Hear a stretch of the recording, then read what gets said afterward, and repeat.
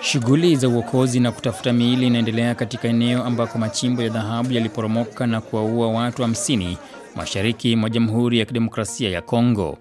Mnamo Jumapili, waokoaji walifukua miili ya kwanza 18 katika eneo hilo la mkasa karibu na mji wa Kamituga.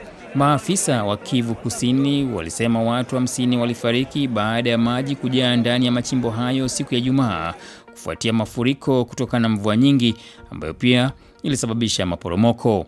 Ajali ya machimbo ya madini nchini Jamhuri ya Kidemokrasia ya Kongo hutokea mara kwa mara na husababisha maafa.